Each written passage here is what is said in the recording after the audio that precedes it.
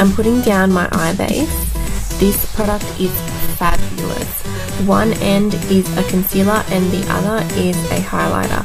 So I use the concealer to conceal the darkness on my lids, then use the highlighter as a shimmery base.